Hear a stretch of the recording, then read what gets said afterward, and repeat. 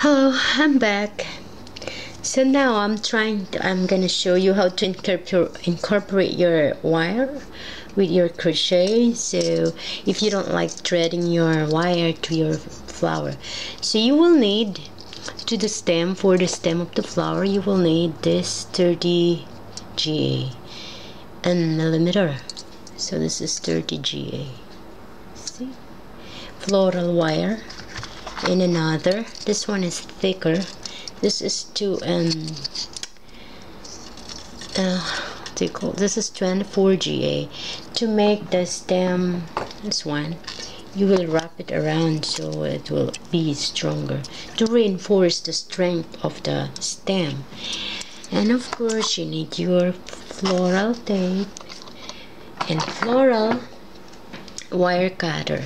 So let's cut and for this uh, tutorial only I'll cut a little small amount okay to show you how to and to make it very long if you want to put a lot of, uh, of well if you don't like just cutting and cutting and just cut one and then you do it like tapestry.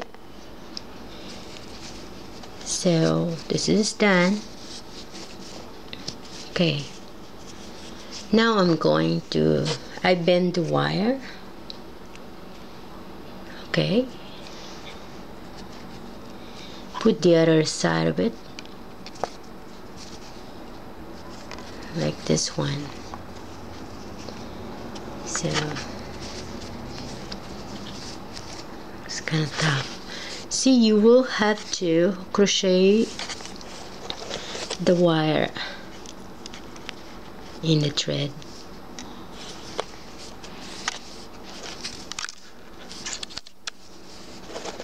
This is not the pattern, I'll just show you how, how it works. So you will have to do the stitches as the pattern said. Don't follow my stitch. I'm just showing this too to let you uh, to show you to help you how to do it with the incorporating the wire. Now if you make the wire very long you just bend it at the bottom of the flower. And if you reach your the point of your flower if you need to slip stitch there of course you will miss the wire so you just bend it and go to the next stitch. You still have to get the wire. See?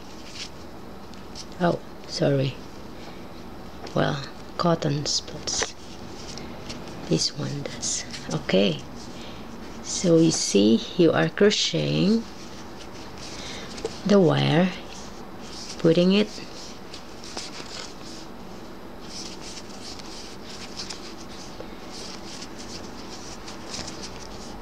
So this will, the wire that you're incorporating in your petal will serve as the stem. Well, it will carry the petal and it will make a stem like the one I made. So,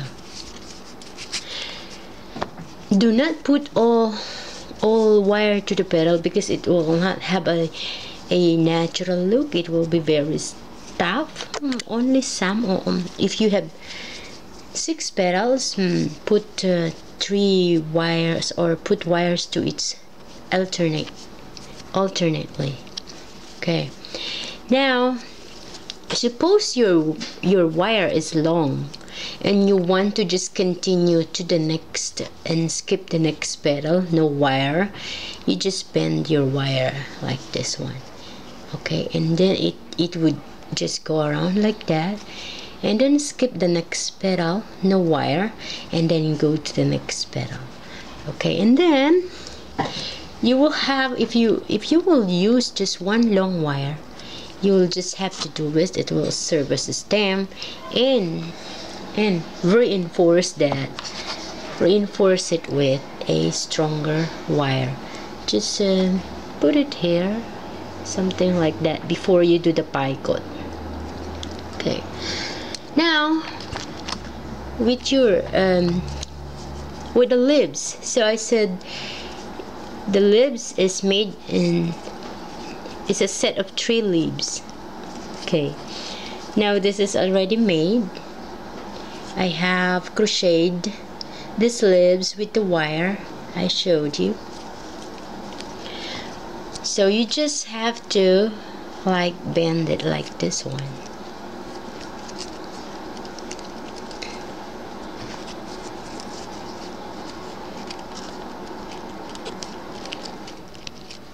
okay bend and twist. Twist twist twist. And of course you put your do it with uh, floral tape.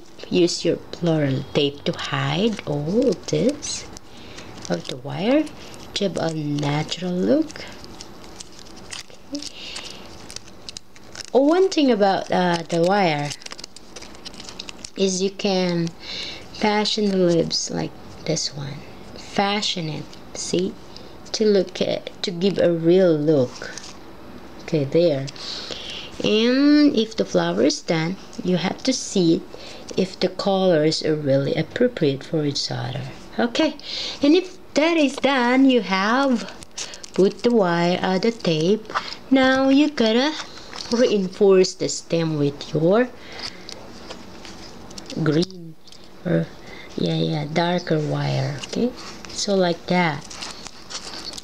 And then you're gonna go and attach your leaves and flower to your creeper vine. And you have a clematis vine okay? So I hope it helps. This video helps you doing my pattern. If you have any question I'll be glad to help. Bye